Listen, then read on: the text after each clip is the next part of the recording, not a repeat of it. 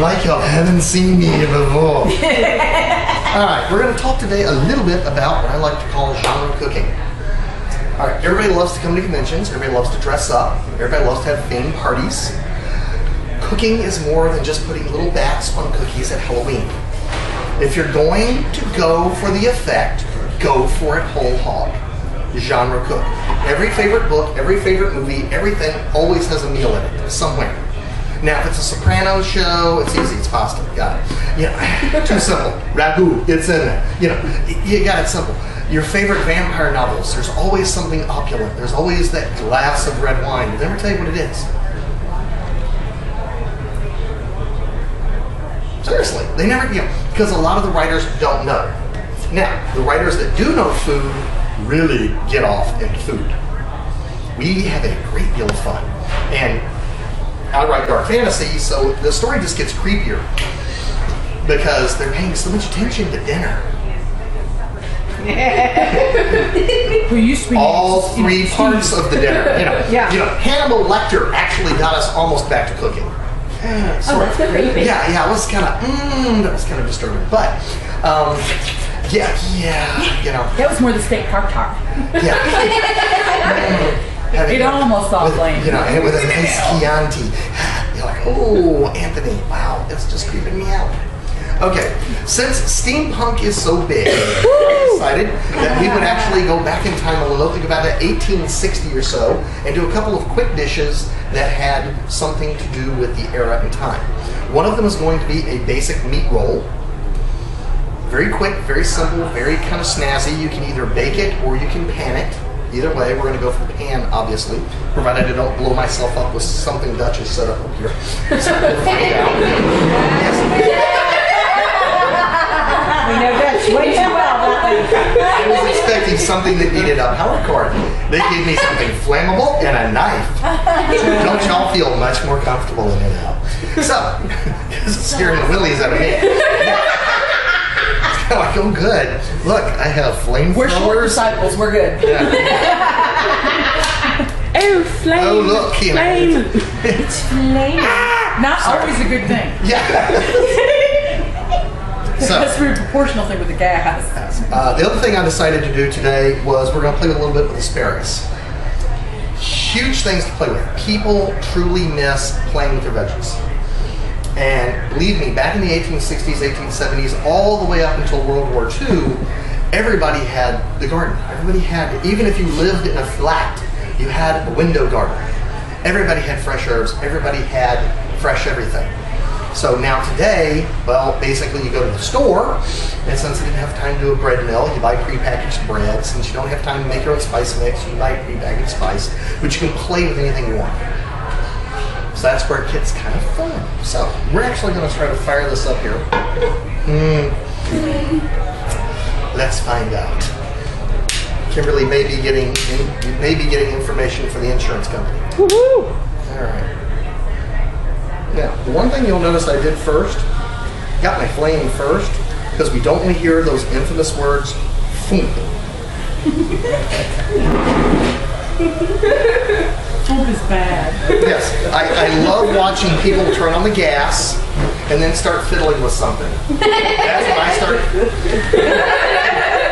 Somebody's losing some eyebrows. Alrighty, since we're in the modern world and things are very, very convenient, we're going to cheat a little bit. We're not going to squeeze our own oil, although we are going to have to fight our way into the container. All right, I just want a dash to start transferring heat. I don't want a lot. And what we're going to do, we're going to start braising this a little bit because this is going to be part of our meat roll. Cards, questions, or comments about playing in the kitchen? Anybody had any disasters or great successes in playing with themed cooking? Time for all the disasters. Nobody, nobody has time. It's like, you bury it, you bury it quickly out back, and nobody notices. But Well, I'm just learning to cook because the only thing I knew how to so cook am was pork chops. And then I became the microwave queen. ah, ooh. I can cook anything in a microwave. All right, that's, I'm not sure I'd say that too loudly. That's kind of Give, frightening. give Uh, me your email address and I will send you some of my best recipes. Some of which are quick and easy and very tasty. I made chicken soup flambe one time. Chicken soup flambe. What was it supposed to be Chicken soup flambe? flambe. That was the word flambe I actually heard in that. Yeah, I will the I'm dying to hear Quick, easy this. recipes. They're really tasty. sound you've ever heard is the empty salt shaker when you just set half your kitchen on fire. okay, so you pick up the pot of flambe soup and The flambe soup. I, I, I, I, I, I'm, I'm somehow or another, I'm equating that to the river is on fire. I'm trying to figure. I'm thinking all the ingredients in soup and still trying to figure out how how I'm fire. Well, I- I- mostly on a chicken soup you though, you, you probably flamed, you probably flamed the oil. Oh, oh it was rabbit. I mashed up three whole rabbits in that pot of soup. It was a pot of soup. Three whole full flames. rabbits? Yeah, full flames on the back porch. And as I was coming back inside, the boys had all bolted. They're like, no. They no. ran. I was holding the dogs back. You weren't. This was a big pick up the container of salt, and Sarah picks it up and she goes, oh crap. It's empty, the big container of salt. Empty, empty, empty. So we pull out the little two pint fire extinguisher from the 70s with a pen pin and the empty reader. Um, and it worked. Saved the kitchen. Saving the kitchen is a good thing. And, and so we did. I walked back out and I said, okay, guys. Pizza's also a good thing at this stage of the game. Yes. So Well, we we, got we've been laying flooring all day, so I came back out to the living room where they were all hiding. I mean, sitting. and and I said, okay, guys, pizza will be here in 45 minutes. And one of my friends went, hope so. ah, yeah, yeah. I you always were an experimental cooker. yes. She just had no idea how avant-garde the Welsh rarebit was going to become. I always thought I was doing real good cooking. I got my soup with the broth and then the vegetables and the meat, and I had it all going really well. But nobody told me I wasn't supposed to put like the entire packet of noodles in the pot. Oh dear. so I did because I love noodles. And when I came back, the lid was about this far off the top of my crock pot, and it looked horrible. and I ruined scary, my soup. huh? I did. I ruined my soup. Kind of scary. Oh, I didn't know how to cook when I got my first college apartment. And my roommates decided to do me a favor, so they went down to the bookstore and one of them purchased for me the Simple Fool's Handbook to Cooking. Ah. And I said to this girl, Well, I guess you know what I know what you think of me. She went, No, you're a complex fool. However, you need help cooking. So, Yeah, and I still use the beef stroganoff recipe out there because it was wonderful. My favorite cookbook? Awesome. The five ingredient cookbook. There's no more than five ingredients to any meal in the entire thing. Because nothing turns me off a recipe than looking at a book and going, okay, um, the instructions begin with make a roux. Yeah. not even that, but it's got like 24, 27 ingredients to it, and you're like, I don't own half of these. Yeah, I don't have all this. I don't know where to find the other half. I can't pronounce two of them. Yeah, It's like, I understand. is that an understand. herb or is that. I Asked understand. the guy at the little Indian cuisine restaurant grocery store combination down on the corner of Brainerd. I don't understand. It's like, there ought to be someone you can call and go, by the way, how do I find that? You're like, Where- you're where- working your damn book. Where, can I where find do? I find French tarragon, fresh rosemary, and something called bees? You know, You're like, what? Huh? But yeah, where do you find ground yellow turmeric? You know, is this a McCormick Spice, or do I have to find the Indian cooking store? And I love the ones that call for saffron, because that's just. Yeah. It's Yeah. outrageously expensive. Oh, yeah. What, 15 bucks for this? Yeah, and and and, And you course, have to be threads. Yeah, there's tiny little things. All right, I'll show you a cute little trick here. Um, while I'm doing this, I'm threading the asparagus, and we're starting with the asparagus backwards. So instead of trying to thread this direction, it's going to break. This direction, you can actually probably wound somebody with it. Hmm, Get them real good. Now, for, if you're going, if you're going to like do the cute little strips and like that, everybody always wonders how do you do that? How do you do that? How do you do that without cutting your hand? Because I see everybody doing this. Don't do this. This is bad. This means you're going to be in one of my books because Dracula's going to be licking the knife. All right, what you want to do is just lay it down and watch this. Just put your knife down in it and just literally lift up, and you automatically cut a beautiful little stitch right down through there. with absolutely no danger to yourself, loved ones, and or pets. So, That's a Good trick. It also keeps the knife carefully under your control. So, and then you just kind of wad him up. See, that would On be my story. I once tried to take my thumb off. You tried to take your thumb off. I only took three fourths of the nail. Only uh, that, It took me a while to figure, get enough blood clear to figure that out, though. we. It was the middle of the night. So I was a little concerned. I looked You're, alone. you're, you're adding the crunchy bits, so it's like, It's like, what is that? It's a water chestnut. yeah, it's a lot of no, don't worry about it. Don't worry about it. Yeah, I thank God for my fingernails half the time because if it wasn't for them, I'd, I'd be missing chunks. We got. 'Cause I'll end up with these big grooves in my, my fingernails. I went right up under it with the knife. Oh. Ouch. I tried to peel my finger. Try Yeah, I tried to to peel the finger. too. Well, no, I tried to grate mine. Okay, now let me That was painful. let, let me give you a couple of secrets. Peelers, never buy anything other than the 89 cent cheapy vegetable peeler at the grocery store. All that other stuff that costs 10 $15 doesn't work. Get the I'm I'm kidding, the dollar eighty nine, you know, the really chintzy looking one that's all just kind of, you know, like a bent piece of metal and like a little scraper on the end. That bad boy will work till your grandchildren throw it away. The twenty dollar one, oh, they're rusted in the store. They look like just absolute mess. They're in the store. Of Yeah, the others don't work. and, and another thing, don't be afraid to play around with genre stuff. Um, one debate I was having whether or not I was going to have time in an hour, um, I was going to introduce y'all to butternut squash. So instead of doing it, I'm going to tell you about it. It's a pumpkin. Yep. It's very popular for turn of the century food. It's making a comeback. Uh, what people don't understand is anything like that has a huge amount of variety. Um, has anybody ever seen a spaghetti squash? Yes. I grew them last Anybody had them? Anybody cooked one? I've eaten it, but I'm not cooking it myself. I cooked it. Just keep my hand up. Yeah. Here you go. Take that bad boy, give me a huge instant recipe, huge steampunk turn of the century taste sensation. All you got to do, slice that bad boy in half so that he sits like a bowl. Add a little water, add a little butter, baking for about 45 minutes. Let him cool. Take a fork and make spaghetti. It will turn into noodles that you can now take out of the spaghetti squash and treat like any pasta. You can even put marinara sauce on it and school the stew out of that friend that will not eat veggies.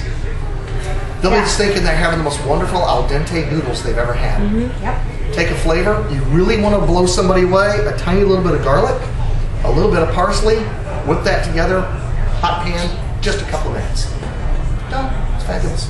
So I grew up out west, and all the chicken of squash are still very, very popular there. So, you know, they just, I mean, what you can do with them is just amazing. People buy squash in this area as decorations around the. Mm, yes, I, they were selling a large. They They. I mean, they, they were selling There's a- acorn squash as decorations over at the Bi-Lo.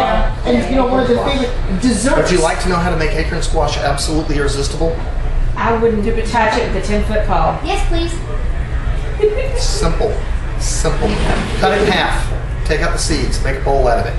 I've eaten it that way. Put a no, no. You're not. I Hang on. liked it that way. Hang on. Put a pat of butter in it, and two teaspoons of honey, and bake it. Okay, now what they would do out west, I can't remember what kind of squash it is now for the life of me.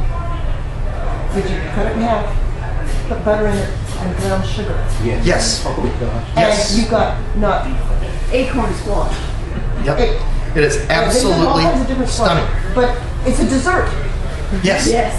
Yes. it's delicious. And you Yes, know, that's, I mean, they just, Absolutely. like I said, out west, they do all kinds of fun things with squash. It's not decoration. it's We're gonna let that begin cooling for a They said, they moment. go, why are you using that as decoration? Now, my mother used to substitute butternut squash for pumpkin in her pumpkin pie. Uh, it's not And a you could not tell the difference. It's not a substitute. A butternut squash is a pumpkin. Yeah, but you couldn't tell the difference in taste except the burger was not good. Well, actually, you can. There is a slight difference in taste, but most people would Not enough to make a difference. Yeah, You not probably have to have them side by side stir to it. do the whole. You would have to have them side by side, and you would have to have somebody with a very trained palate. to know Most people are used to adding sugar to pumpkins, so they think it's two different things and they might not put sugar in the buttermilk. Mm-hmm. All right. Now, We're gonna let these come out and cool for just a moment because those are going to go in our meat roll. Now, you'll notice that I did not keep cooking them. I got them about half done and set them off the heat and left them covered. Anybody want to tell me why? That the heat has cooking themselves? Yeah, just let it, just let it slow itself down, and that way you don't develop that lovely little uh, shoe leather effect.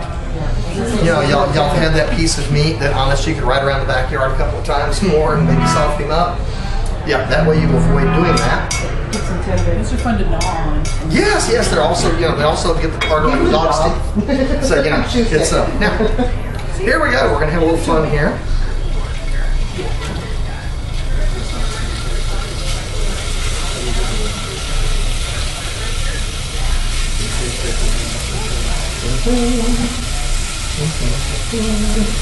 And a little.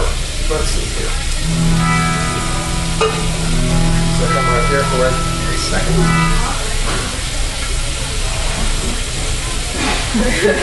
Yeah, everybody's leaning back again. Well, I think we've decided it's not going to blow up in my face. Yeah.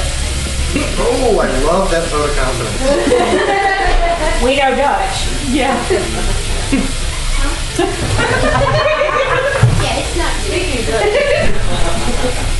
There we go. Oh, I, didn't, I didn't say it about you, sir. They did. Whatever. All right. So, over here, swap around. Those begin sauteing. Those begin sauteing. Three. And we're just going to Yeah. Chocolate? In Johannesburg, Sorry, but Africa. giant chocolate bunny wrap just got my attention. Uh, you know, it's Hard to compete with chocolate, oh my god. especially in a room full of women.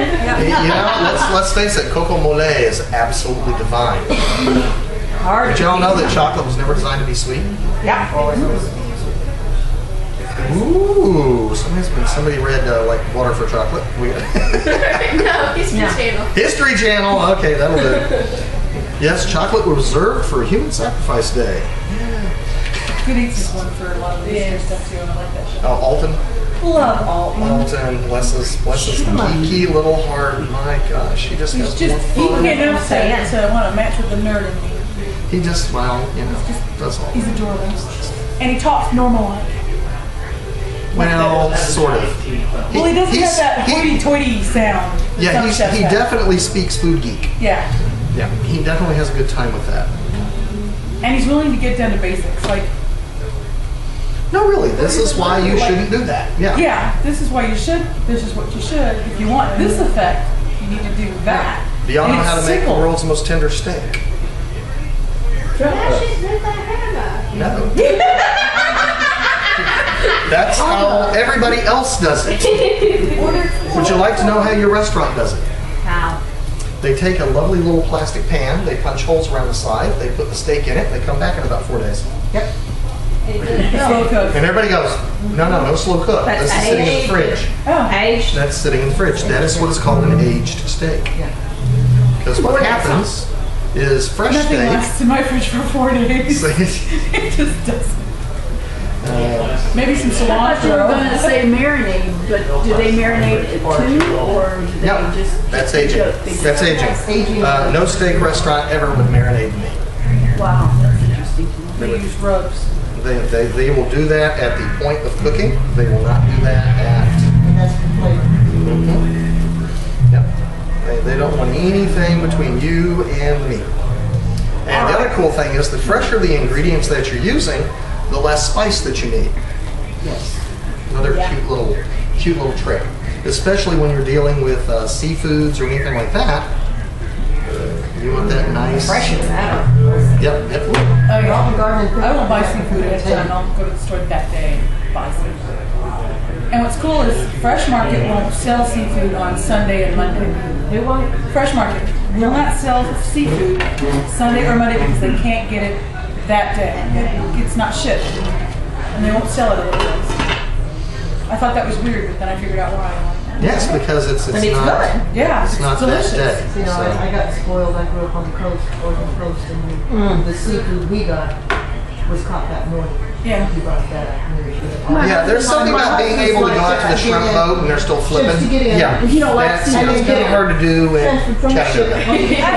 And so I don't like seafood here Yeah. because none of that Okay, tastes I right. like it. That's my husband's the same way. The other thing is, I don't know if Lord actually secret it was when it was alive. I have an issue with it. I don't know. I had someone bring me out, like, I've had stuffed crab, which is really great when you're trying to dig in for everything and you turn around, there's little eyeballs poking at you. I've had lobster bought to me in its whole thing, so it looks like a lobster. I, I'm sorry, I was looking at me. I, uh, I can't eat black eyed peas either because they keep staring at me. While There's certain things I don't want the food. I don't want to know. I want to know what I'm eating, but I don't want to know what it looked like before it came. You know what? Look at you. No, I don't want to have to cut its head off. Okay, I'm just. I, I'm not that aggressive. Karen? Do you know if they mark their their uh, seafood way down on uh, Saturday then? Do To not. sell it, they don't. I, well, I'm not sure. You can call them and ask. I'll bet you they don't because they probably throw it out daily if they don't sell it, don't they? More than likely. Uh, they probably cook it and bag it. That night. Ah, So that's where your bag, that's where your cooked and bagged seafood is going to come from. So fresh, they didn't sell that day. Oh, that's good to know too because you can get And I do know- stuff with plain paper. I did learn that Olive Garden, if you send a meal back, like it's wrong, Uh-huh. they don't just like recook anything in public. They will actually give that meal to the kitchen. you know, the what do you call it? the kitchen staff? No, not the kitchen staff. The um, like the soup kitchen. Oh, okay. Oh, the soup kitchen, really? The really? only thing they do not it's called send. second harvest. The only thing they do not send to the second kitchen is the salad.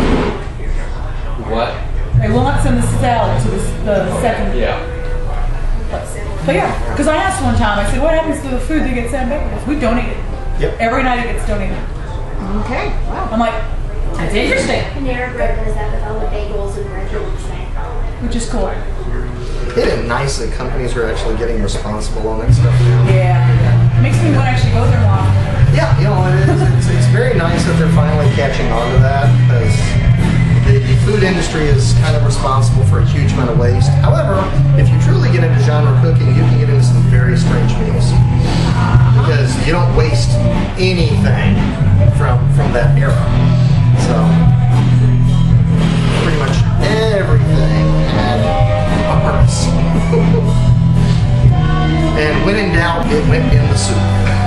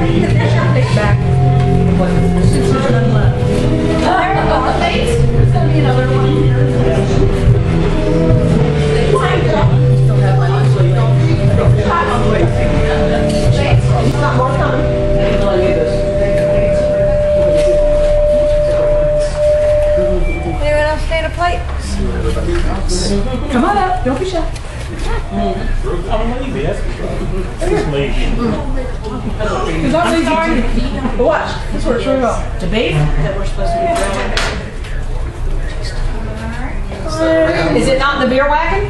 The keeper of uh, the. Against the tall cooler. All right. This gentleman's gonna get Behind the bar? Thank you. Thank you. Thank you. There you go, sweetie. Question. What genre are we?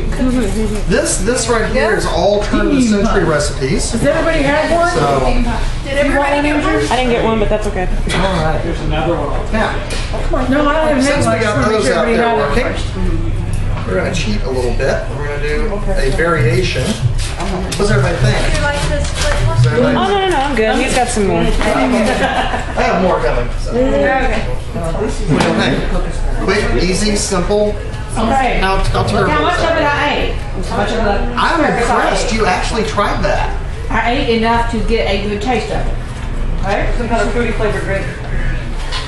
All right. Now, let's see if we waited too long and got this too warm or if I'm gonna be able to work with this.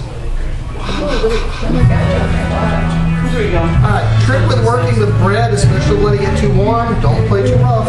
Play nice. Have patience. Play nice. Play nice. Yes, patience with your pastry is a must.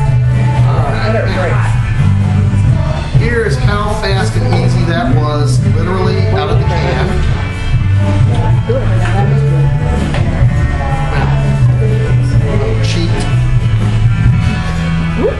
Works. Is that the key? Right, maybe maybe we do Well, if you want to be truly French, you only eat the top couple of inches. And if you're an early American like me, Yes, I was French. you were very French. They only eat the very top. The rest is just there for flavor. Okay, we have now come up with a uh, asparagus recipe I will eat and enjoy. I hope you're happy. I am. That is high praise from me. Now, a nice brown mustard. And Because I, normally I hate asparagus. Just, you know, I love when people tell me they don't like something. All right, so we're going to cheat a little bit, spread that out. I'm going to come in here. Some meat.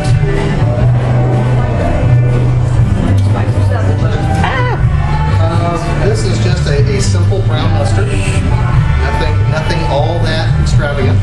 Now, what you can do from here, this is just the basic recipe right here. You can now do anything you want. If you like olives, add olives. If you like mushrooms, add mushrooms. If you like cheese, do cheese. Whatever it is you like to do, this is your opportunity. Now, this one, since we're hanging around in London here, we're just gonna go. I'm thinking about making this when I get home. Hmm. Cheddar cheese. This is just your simple, everyday Colby Jack.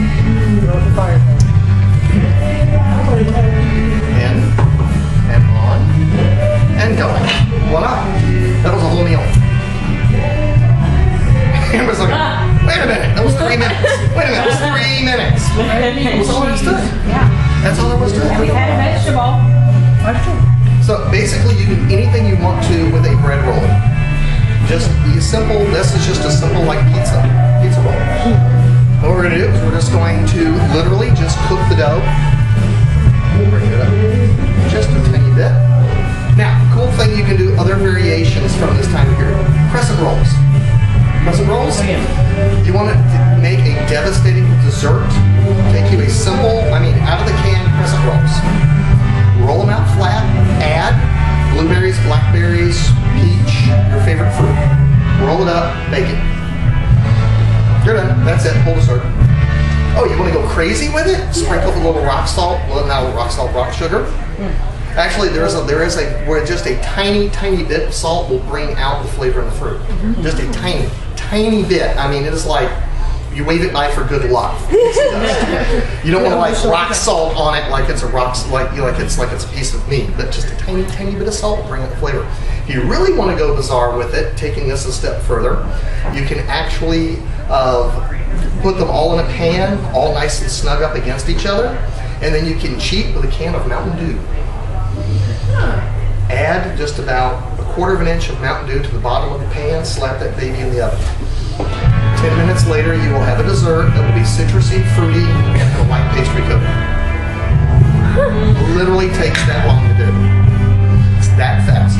So, quite, quite interesting. Now, you're catching on. Somebody said something earlier about five ingredients or less. Are you guys catching on that we're not using a thousand different ingredients? We're just using a simple.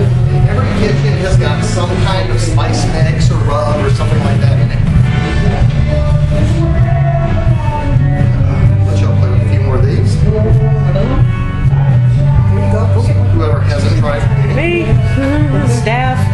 There you go. I'll actually put them in your hand. Thank you. Now, the cool thing is, if you look in here, it's starting to swell.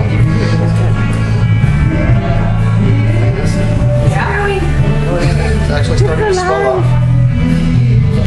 While that's doing its thing, I'm gonna let it go just a couple more minutes, a few more seconds, actually. And not funk that one. Jill, Oh, they haven't tried it yet. Make her share. Who hasn't had a piece? So, what do you think? Genre food, simple, very This is fresh, also very something easy. can do on the truck too. A lot of this stuff is. Uh, this is also campfire food. Well, we have truck drivers get what's something called a lunchbox stove. Yep. Heats up to 300 degrees. Takes a small loaf cut. But I just started driving, so. Uh, take a little lunchbox stove. and you have the red. You can you can do all kinds of stuff on this.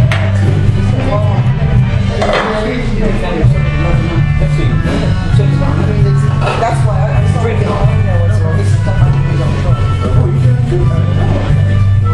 Boy, that's. I'm now on my second. I- I'm just up down. A little aromatic, Stove on my second. uh, just a little aromatic. It's hot water related. Because I'm, I'm, I'm, I'm, I'm from the super. Hey, one more batch.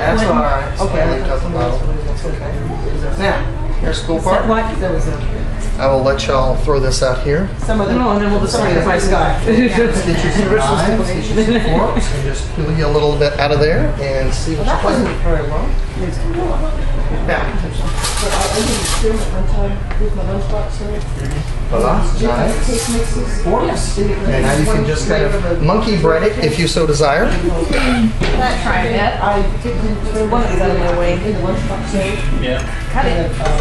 Carry everything. Okay, well, it doesn't cut for me. Really? In that case, just kind of peel you a couple pieces of meat out of there. It just adds to the ambiance. That's all right. A yellow cake. Yeah, no, my boobs need to be there. Let's get a pay them. They were going nuts. Fresh cake. It's like you were actually here. Oh, yeah. Give her like a little mug. And, you know, blue beans, stuff like that. Like, bread sauce and everything. And again, you can bake it. You can, uh, actually, my favorite way to do this is in a clay cooker. In a clay cooker. Oh, that would be great. It would dry out just You're enough. gonna not bake this one, like the bread thing, Mhm. would you do an egg white on top? You can do any variation you wish. Any variation you wish.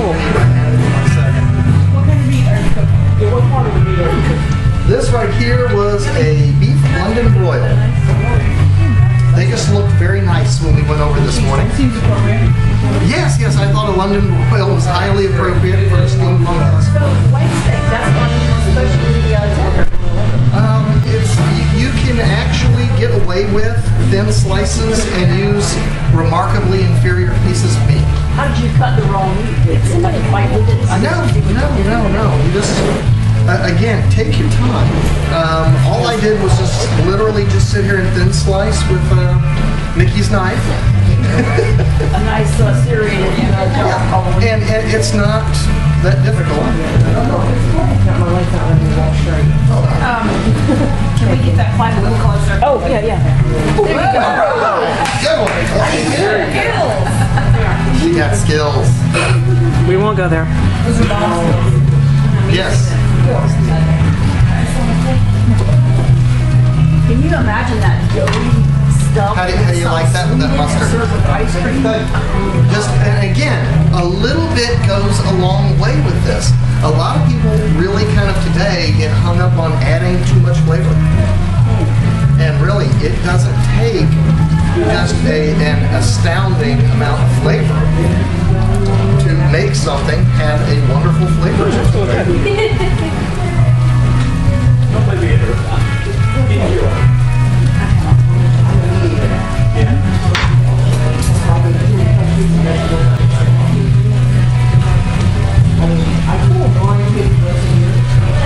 Now, variation of this, set these up and throw them on your grill.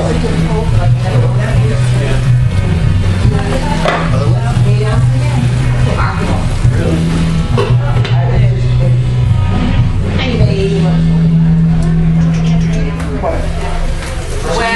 smells so good. Oh, Mickey, it's wonderful. It's got asparagus. He made asparagus and Sandra did actually good. Sandra did asparagus?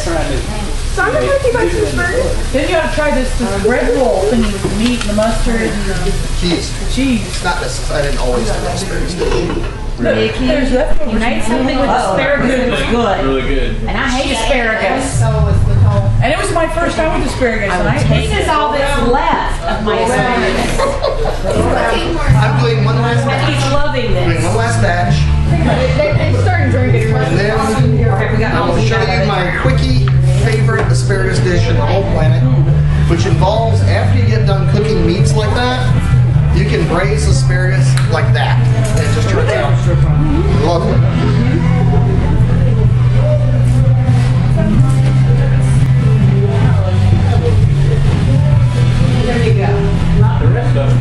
Well, you can cut part of that off. And also notice we're not using flaming, raging heat. Ahead. Uh, I, I, I, a video of this little crunch down the This back. little crunchy, crunchy. And what kind of video are we making in here? Oh my god. So, what do y'all think? How tough was that? Um, this is this, this is just cool stuff you can use to add to any genre event you're doing. And it doesn't take a whole lot of research, and it's so simple. It's so amazingly simple. And also, you also, as the cook, you stay involved you can have a little fun. You can be busy and cooking and doing, and guess what? You're still in the middle of everything. You're not sequestered off in the kitchen with the oven and the this and the that. You can actually of it out there. It's kind of fun. And how fast does this cook? Oh, that's done. It turns out that quick. She likes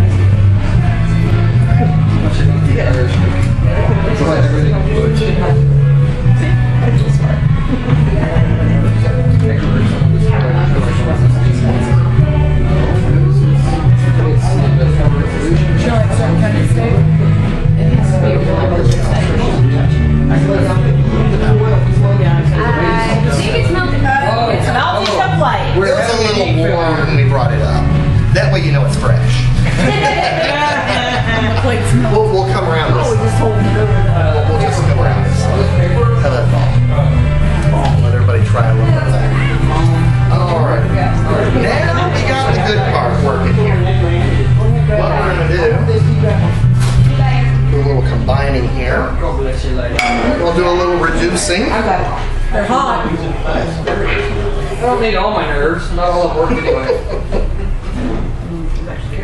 We would like to keep that last one or two going. We did save this one last little bit here for flavor. Yep. The last little bit. If there's any left, I'll take another one.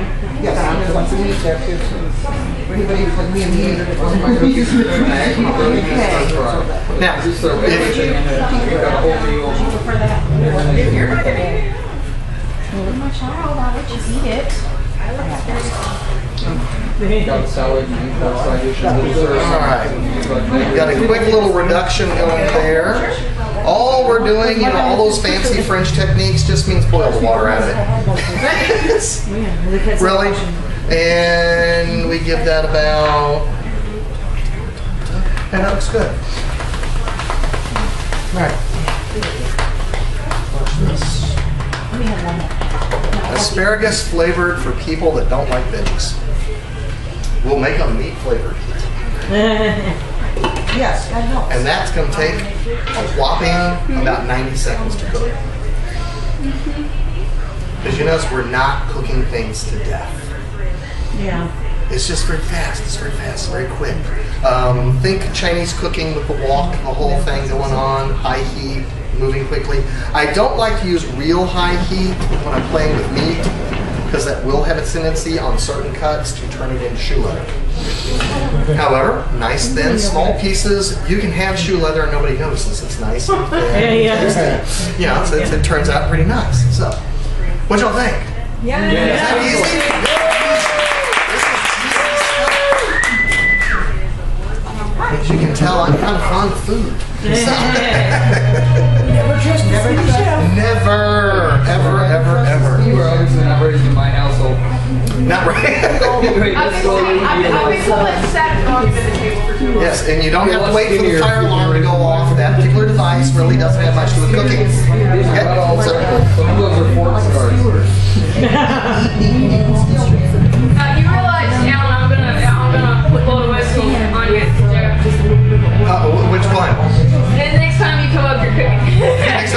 you're cooking? yeah, just for cooking. Next time I'll do something like butternut bacon squash or something like that. Yeah. But just right next to the good Oh, you, you want a, a cheesy apple recipe that will thrill kids to no end? Hollow them out about halfway, fill them up with red hots and bake them for 30 minutes. Oh yeah. Oh, the cheese, I mean the cheap, cheesy little nasty red hots. I was shaking the table. Oh, sorry. Just this, the, the, just the cheap little red hots, just fill it baby up and then just put a bacon. Get like a mouthful and have Man, you will have some excited children. smiling. Here, my dad does it over pineapples. They say we just pour out halfway and fill it Yeah. with dried fruit. You have a bunch of people on Yeah. Brown sugar, raised the sun. Also, that was, we did that hand and doing that, so we bread with the That is your good old fashioned, just basically your steamed asparagus. And then we're going to get into down here. Is that, is that, I love how some of the water cooler.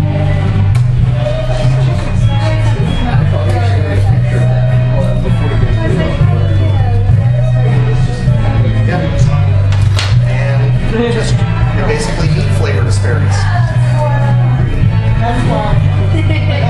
I'm kidding. They're very warm. But Yes, the asparagus with bacon. I have four cans. I need flavored asparagus for my He's daughter. talking wrapping asparagus and bacon. Yes. Yes, it is absolutely devastating. Especially if you spiral and bacon. One or two, Gio. Well, yeah. I- Those, those are your steamed, that's gonna be your meaties. Go for the meaties. I put the meat on the plate as a demonstration. That, that is a meat braised.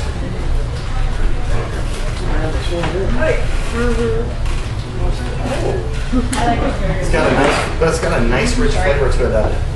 Uh. And you don't have to cook it till it's green unless you stuff One cut up onion and that would be perfect. it. Little what? Cut up onion. Yes, yes. A little, again, now the variations become just legend yeah. at this point. Uh, one of my favorite varieties of this is uh, to dice up olives. Add that because you get that nice um, New Orleans. Uh, what's the giant sandwich? Muffuletta? The muffuletta flavor. Because a muffuletta is basically an olive sandwich with meat on it. So you get that, you get that kind of really, really incredible flavor. Easy to do. Easy to do. So what y'all think? How, how simple is that? that fast, that simple. And a vegetable nobody likes. Oh.